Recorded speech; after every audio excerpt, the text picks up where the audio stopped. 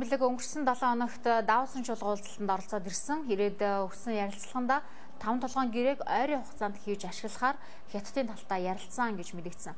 Тэгвэл их хурлаар хилэлцүүлэхгүйгээр гэрээг байгуулж болохгүй гэдгийг гишүүд дахин сануулж байна.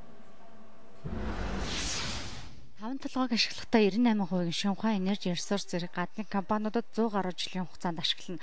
Харин Монголын талд 2% нь үлдэж байгаа нь ямар ч ашиггүй. Дээр нь Монголын хууль тогтоомжуудыг ихээхэн зөрчин зүйлзалт гэрээнд орсон гэж их хурлаас томилогдсон ажлын хэсэгт дүгнэлт гаргасан. Өөрөөр хэлбэл таван толгойн гэрээг өмнөх хувилбараар хийвэл Монгол за тэр том ордынхаа ашиг хүртэхгүй гэсэн үг.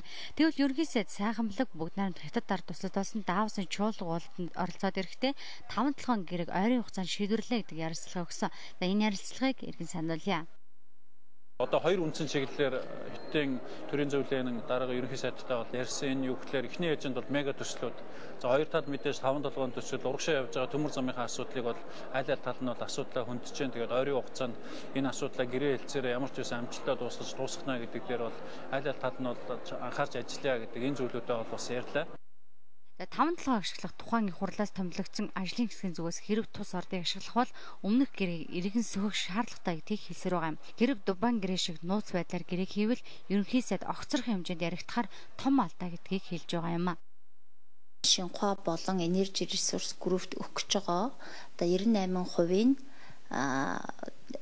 бараг 100 жилийн хугацаатаагаар өгөөд Монголын талдаа бол 2% үлдэхээр ийм гэрээ хэрэг үргэлжлүүлэн ерөнхий сайд бол хийх гэж байгаа бол энэ буруу л гэж бид үзэж байна л да.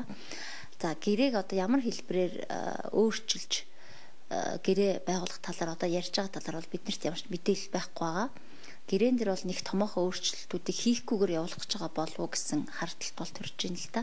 Тэгэхээр ер нь одоо засгийн газар улсын их хурлаар оруулахгүйгээр энэ гэрээг өөрсдөө ингээд шууд явуулах тухай асуудал бол байж болохгүй л гэж харж байгаа. Яг гэхээр уртлын гэрээн дээрээ маш олон хууль тогтоомж зөрчсөн. За энэ том ордыг бол маш удаан хугацааны туршид одоо гадаадад тийм ээ гадаадын компаниудад бол өгч байгаа гэдг нь бол Монгол улсад ашиггүй учраас улсын хурл бол гэрээ одоо батлагдахын өмнө дахин татаж үзэх шаардлагатай болов гэж харж байна.